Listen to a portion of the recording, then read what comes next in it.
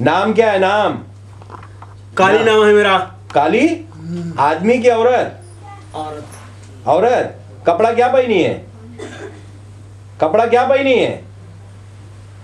कपड़ा तू क्या पहनी है? कपड़ा क्या पहनी है? कपड़ा क्या पहनी है? अरे कपड़ा क्या पहनी है? और मियाँ को पकड़ लिया है भैंसे का गोश्त खाता है तू भी खाती है? नहीं मैं भेजी गई हूँ। कौन भेजा है तुझे?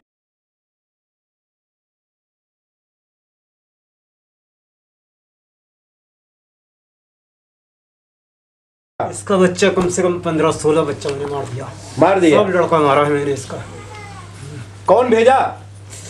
बाबू ने भेजा था मलेरे वाले ज़िंदा है कि मर गया? वो मर गया है इसकी बीवी अभी भी कर रही है। इसकी बीवी ने फिर इसको खिला दिया है। किस चीज़ में करके खिलाया? खिलाया है। उससे क्या दुश्मनी है उसकी? इसकी दुश्मनी कोई नहीं है गिलास पानी का भी रवादार नहीं उसके घर का है। तो फिर बस ये शरीफ मिठाई में कैसे खिलाया? ये दरअसल अपनी ससुराल गया था और उसकी ससुराल में उसका भी मतलब था मैका उसी में उसको करा के खिला दिया गया है। करा के खिला दिया बीवी को भी करा के खिलाया गया इसकी बीवी को? हाँ। तुझे मिलेगी यहाँ मौत सजाए मौत कैसा रहेगा? कितने हो तुम लोग? तीन। तीन। अभी पुष्टि में पंडित जी बता देंगे कितने हो। झूठ बोलोगे तो बड़ी मार मारूँगा। कितने हो? पक्का बताना? तीन। ऊपर? तीन। अंदर? सब तीन। कुल तीन ही। हाँ। चल अभी अभी तू हट जा मैं इस आदमी से बात करना चाहता हूँ।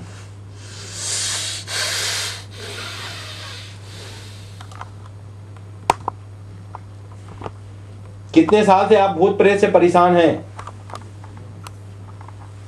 हम बहुत दिनों से परेशान हैं। कहाँ कहाँ आप गए? हम तो गए बहुत बुज़ुर्गों को दिखाया इधर उधर मतलब गंज मुरादाबाद गए।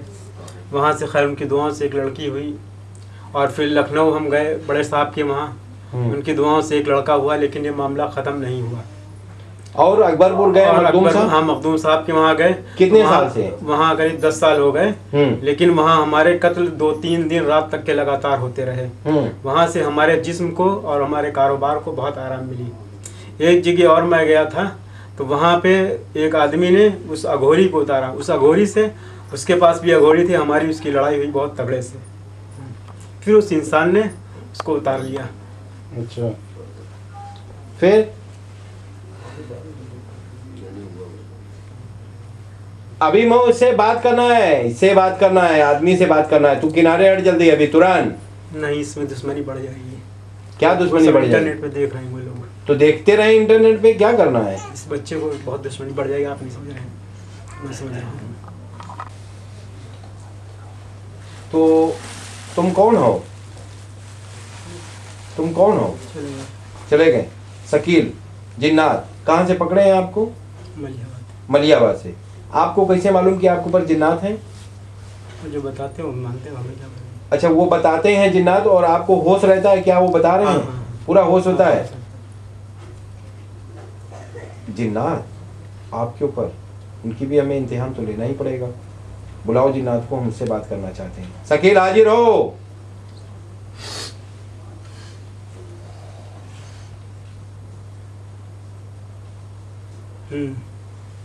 तो कैसे आप मर गए थे?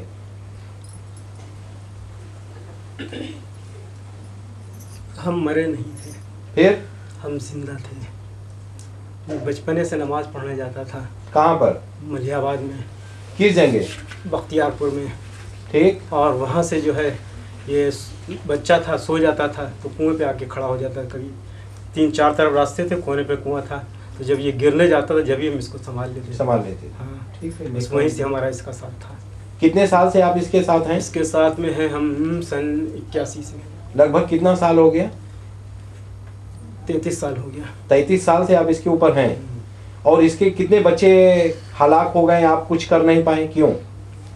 बता रहे हैं कि वो लोग गंदे लोग हैं।